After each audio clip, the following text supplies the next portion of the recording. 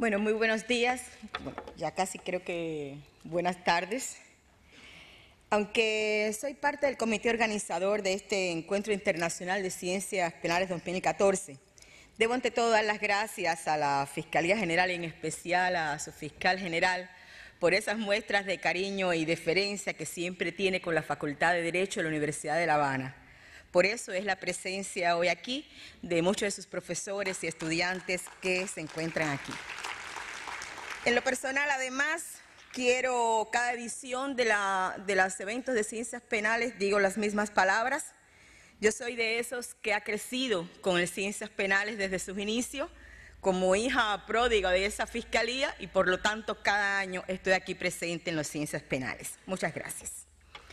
Trataré entonces de ceñirme a eh, mi intervención a fin de ser consecuente no solamente con el tiempo, sino también con su paciencia.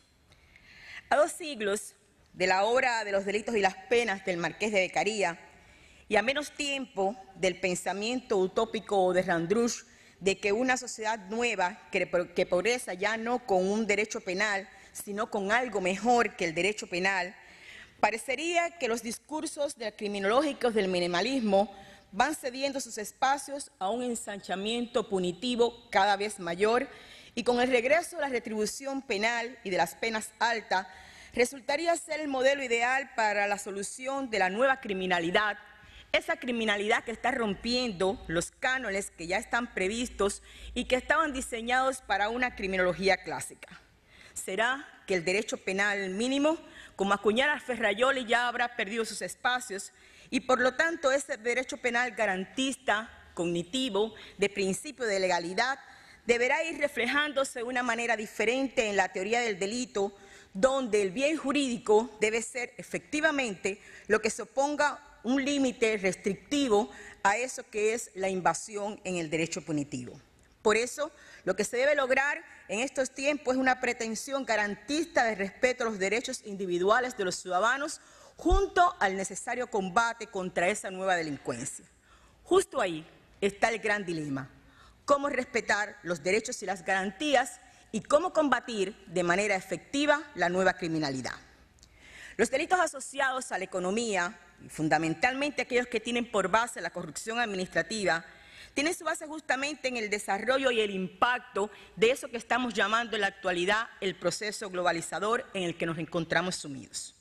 Los clásicos del marxismo nos enseñaron que la economía es la base sobre la que se rige cualquier superestructura y el derecho, por supuesto, está de la mano de las transformaciones económicas y jurídicas que están presentes hoy en nuestros días. Por ello, el diseño de una política criminal que enfrente el nuevo delito debe atravesar justamente ese túnel. El siglo XXI nos ha traído una expresión significativa que tuvo su inicio en la obra que difundió el economista alemán Ulrich Brecht. Vivimos en una sociedad de riesgo. Lo repetimos todos los días como un eslogan parecido al que en su día enarboló la criminología crítica, cuando refiriéndose al positivismo jurídico dijo, nada anda, y los medios de comunicación son un baluarte importante en esa construcción. Eso que el profesor Zaffaroni llama, de manera espectacular, la criminología mediática. El tránsito entonces de una época industrial y el advenimiento de esto que estamos llamando sociedad de riesgo se realiza de manera anónima e imperceptible en el curso de una modernización autónoma conforme al modelo que tienen los efectos culturales, en la cual el vaciamiento de esas sociedades posttradicionales y el advenimiento de sociedades posttradicionales significa un cambio de visión sobre lo social. Diferencias, entonces, deben tenerse de la mano entre el siglo XX y el siglo XXI. Es imposible desconocer el impacto que está ocurriendo hoy en el fenómeno de la criminología si no entendemos que hay una diferencia esencial entre el sistema o lo que ocurrió en el siglo XX y lo que ocurre en nuestro siglo. No hay duda que el reacomodo del poder político, económico y militar a nivel mundial, que ha sufrido cambios desde mediados del siglo XX hasta nuestros días, tras el fin de la Segunda Guerra Mundial, emergió un nuevo orden. Un nuevo orden que se caracterizó por la existencia de un mundo bipolar dividido en dos grandes bloques, uno caracterizado por una economía de mercado, el otro por una economía estrictamente planificada. Esos años y esas dos economías marcaron también dos grandes miradas a formas de concepción filosóficas del Estado, a formas de concepciones filosóficas políticas, donde la economía, el derecho y la ciencia tenían otra mirada. Eso rompió en los años 90 y por lo tanto a partir de ese momento nos encontramos sumidos en un proceso también de reacomodamiento del poder mundial con el advenimiento de eso que se ha dado en llamar hoy el proceso de la globalización. Así se afianzan entonces los cimientos políticos, económicos, sociales y culturales sobre los cuales se busca sustentar este nuevo orden económico.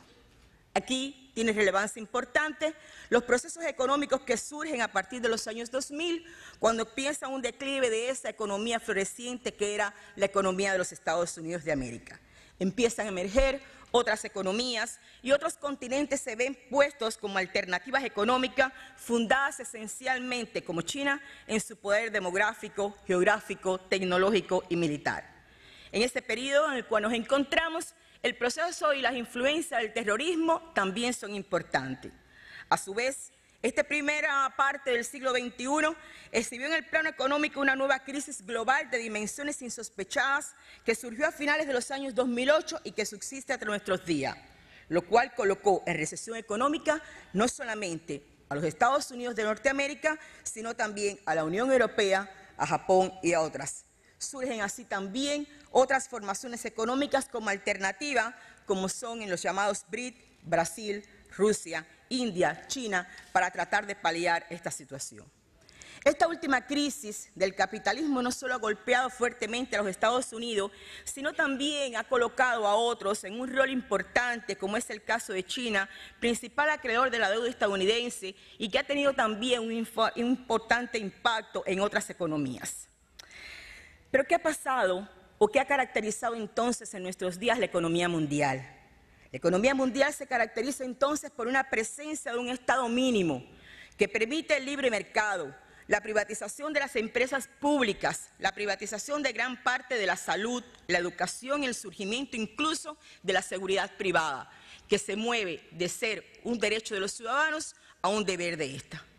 Crecen las grandes transnacionales, con poderíos económicos incluso muchísimo más fuertes que el que tienen en ocasiones algunos estados y nos damos cuenta que existe un movimiento económico que desplaza entonces la visión hacia otro extremo, el extremo de una economía globalizada y neoliberal, que trae consigo entonces nuevos delitos, nuevas asociaciones criminales y una nueva mirada al fenómeno delictivo desde la otra acera, la acera del derecho penal.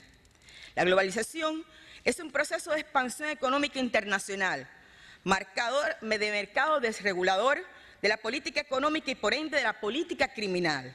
La política criminal en este entorno ya no es entonces un monopolio del Estado.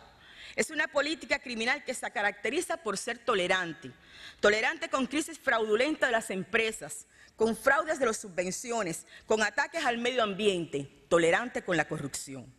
En ese entramado, el derecho penal está convocado a una serie de replanteos y modificaciones profundas que suponen que el modelo tradicional será en un futuro cercano transformado como consecuencia directa de las transformaciones que se operan cada día en la sociedad y motivan una renovación dialéctica del pensamiento criminológico.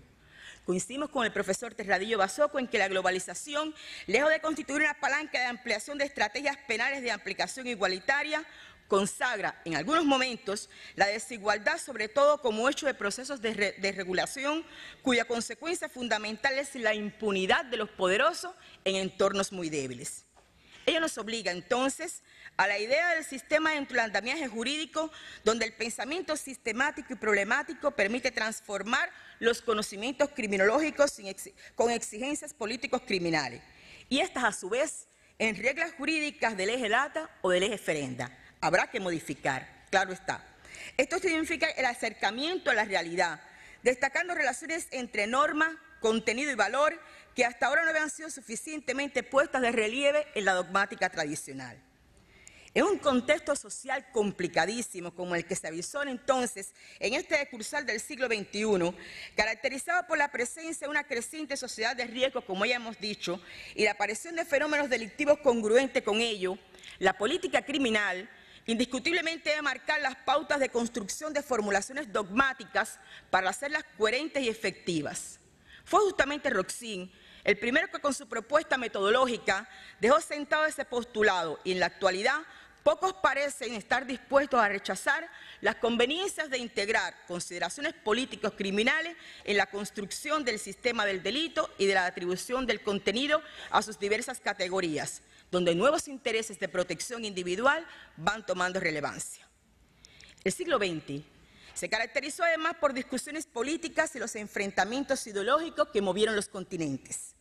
El siglo XXI, por su parte, está caracterizado por la sumisión y la dependencia del mercado, por políticas económicas suicidas, por una criminalidad organizada desenfrenada, por el terrorismo, por una migración también descontrolada que motiva entonces un derecho penal de voluntad y seguridad, en un mundo en que se ha movido de una sociedad de productores a una sociedad de consumidores, que se ha movido de la hegemonía del Estado a la hegemonía del mercado, de la soberanía de los ciudadanos a la soberanía del consumidor.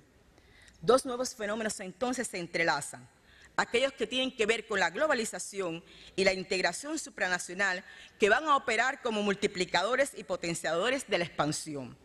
Y no solo, sino que además se meta, hay una meta unificadora que tiene consigo la configuración de un derecho penal menos garantista en el que se flexibilizarán las reglas tradicionales de la imputación y de alguna manera se pueden relativizar los conceptos de garantías políticos criminales, sustantivos y procesales.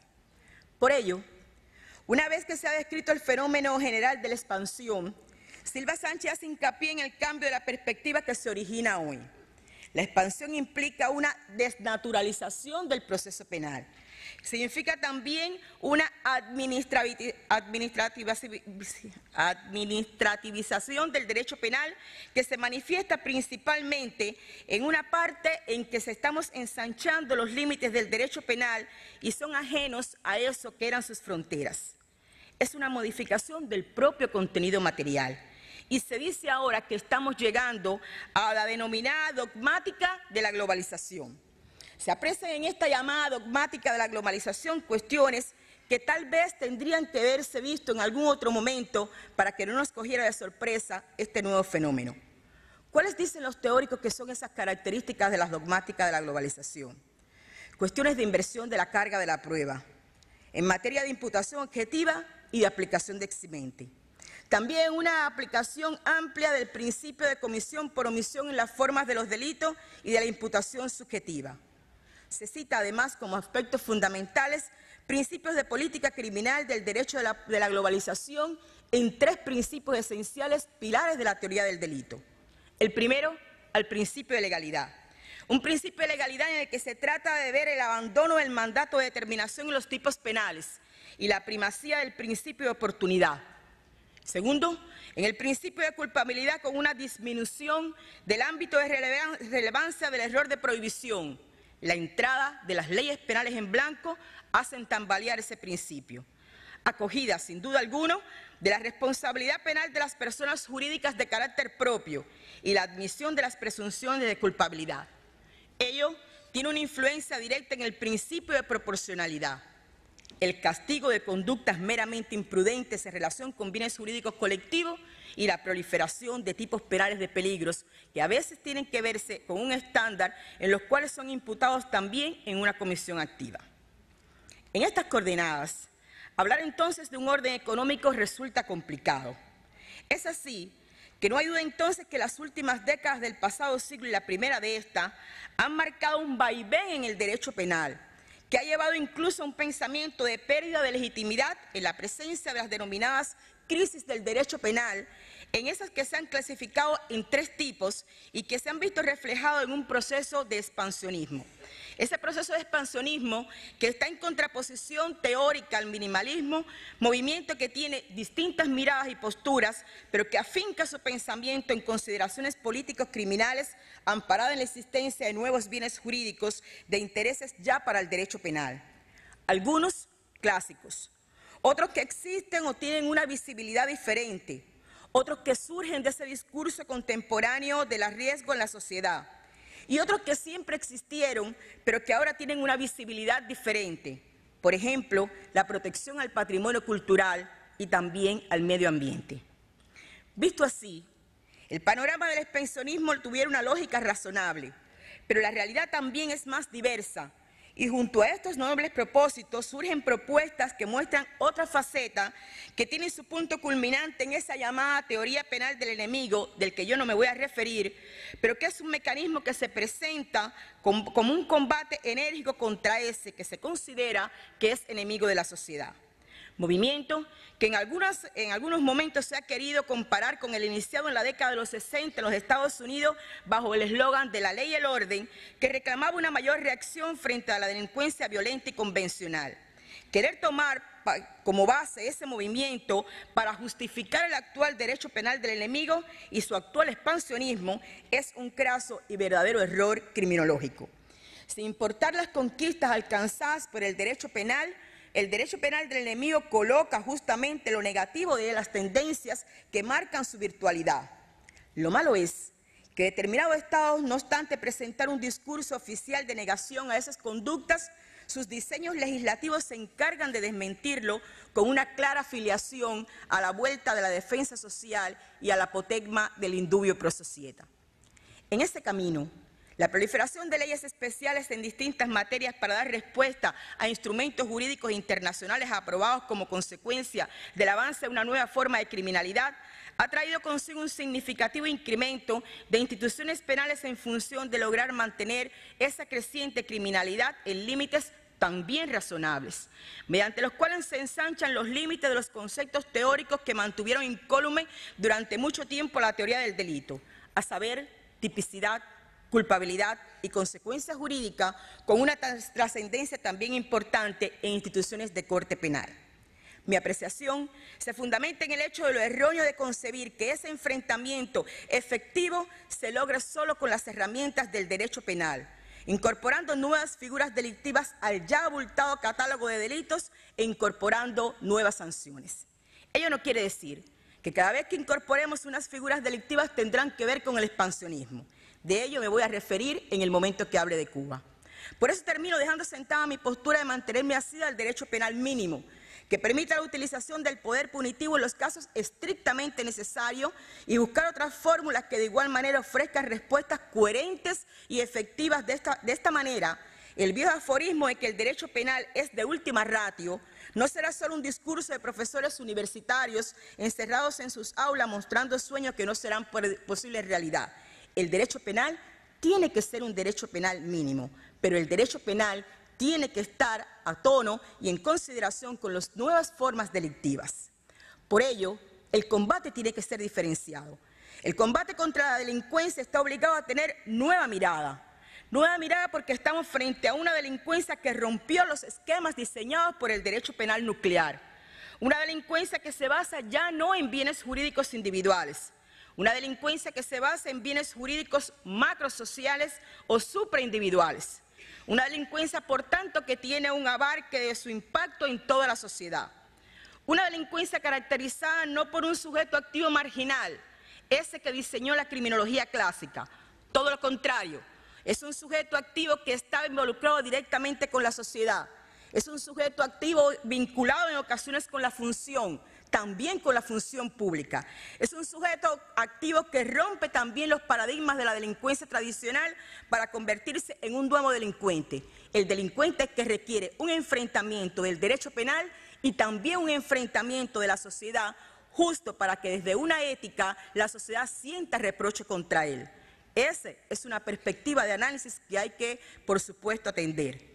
Criminológicamente, entonces, hay que haber, tienen que existir diferentes conceptos criminológicos de los clásicos para también darle un pensamiento a la política criminal que sirva para ser diseñada en este nuevo combate. Si la política criminal continúa siendo la política criminal de la criminología crítica y clásica, estaremos perdiendo el combate contra una nueva forma de criminalidad.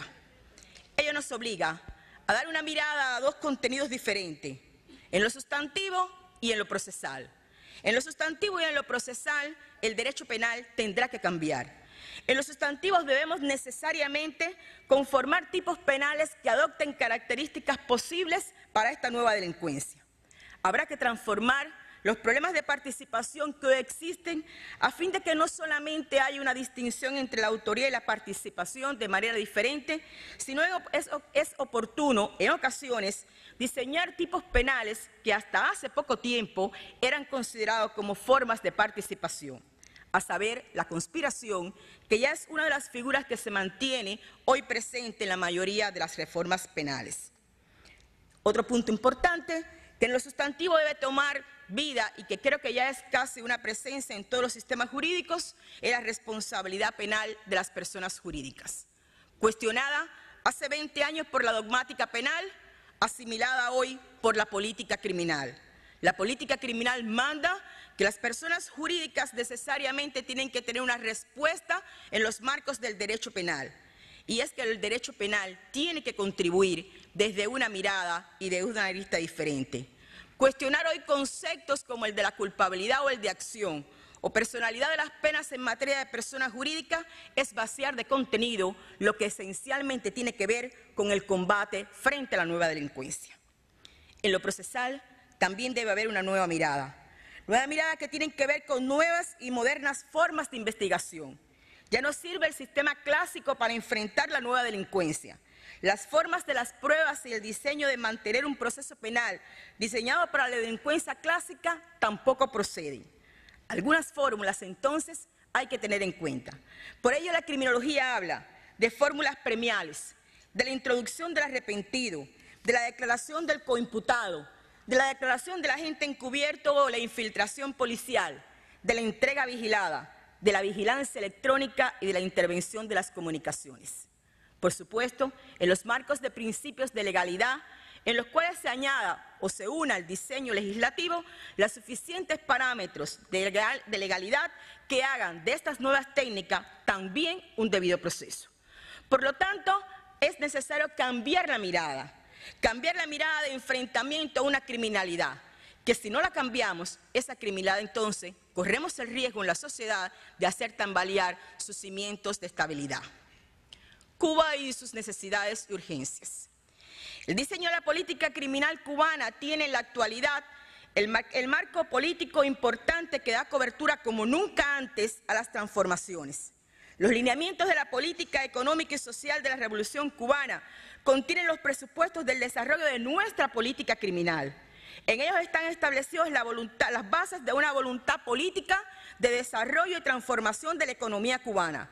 En eso que hemos dado en llamar la actualización de nuestro modelo económico, que por supuesto traerá consigo también un nuevo diseño en el enfrentamiento al delito económico y a esta nueva delincuencia. Varios de los expositores en el día de ayer se refirieron al proceso de reforma procesal que ha tenido lugar en Latinoamérica en los últimos 20 años caracterizados esencialmente por la introducción de un juicio oral y público. Nosotros tenemos juicio oral y público hace más de 100 años, por lo tanto nuestras reformas procesales no va por ahí. Un azar meramente histórico nos hizo que Cuba tuviera juicio oral y público mientras América Latina se quedaba en el sistema inquisitivo. ¿Significa ello que no vamos a cambiar nuestro proceso penal? Todo lo contrario.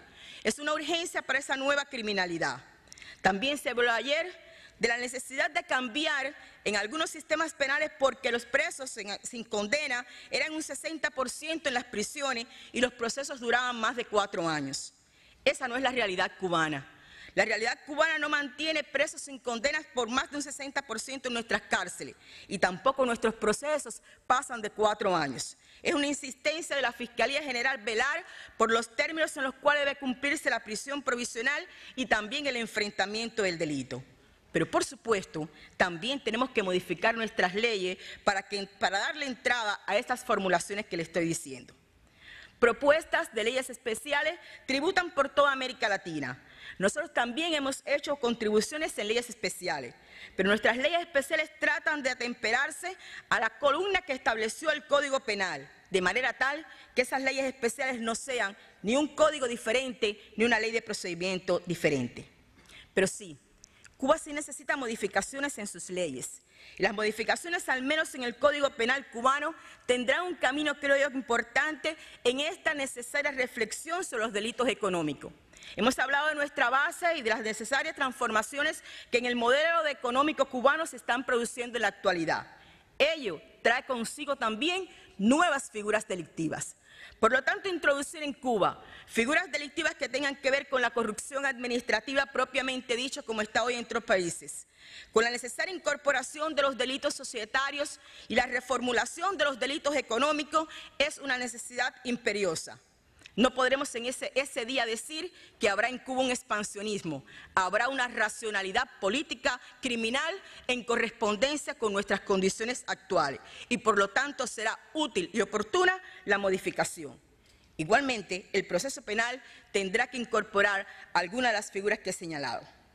Un delito económico entre nosotras entonces debe ser rediseñado en su dimensión más general. Por supuesto que desde el bien jurídico hasta su enfrentamiento procesal y ello implica que los juristas cubanos se encuentren ante un desafío que exige no solo compromiso y presencia, sino también preparación para comprender y afrontar las dificultades que encierra la investigación y la efectiva sanción a estas conductas. En esta materia, el enfrentamiento cubano en sede penal atraviesa la misma problemática global que son a saber la ausencia de un afectado directo debido al aparente distanciamiento entre el autor y la víctima que está relacionada con las características del bien jurídico de corte colectivo o supraindividual y que debe ser objeto de atención permanente, sobre todo en la cultura jurídica.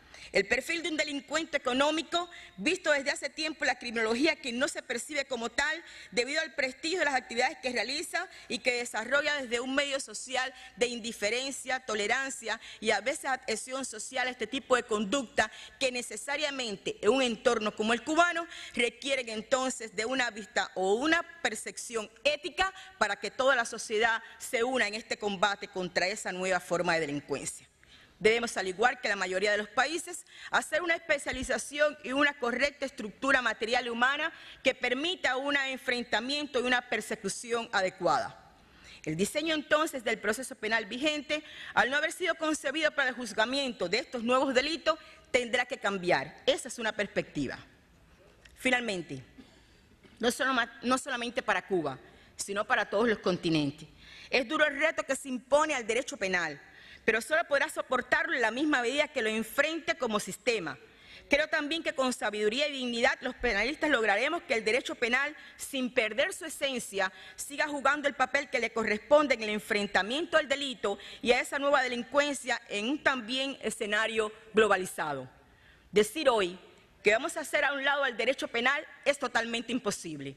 Solo podemos tener al derecho penal como una herramienta útil y afiliada a nosotros el derecho penal podrá tener utilidad en la misma medida en que se coloquen los parámetros de vigencia legislativa y también de debido proceso que marquen la presencia importante de todos los operadores y los ciudadanos en ese entorno. Así entonces podremos defendernos de esas manifestaciones que no eran ajenas a las sociedades y que hoy este mundo globalizado nos está trayendo. Esa es la única manera que la criminología podrá acompañar al derecho penal en este nuevo escenario.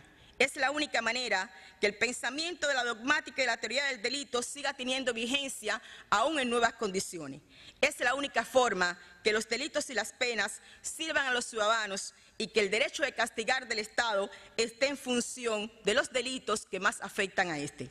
Si es así, entonces el derecho penal podrá, podrá seguir teniendo vigencia 250 años después de los delitos y de las penas. Muchas gracias.